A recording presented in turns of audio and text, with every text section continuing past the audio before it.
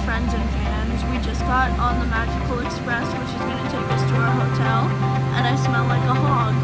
So that's great. I'm tired and I'm greasy, and my parents are taking me to a park. That's it.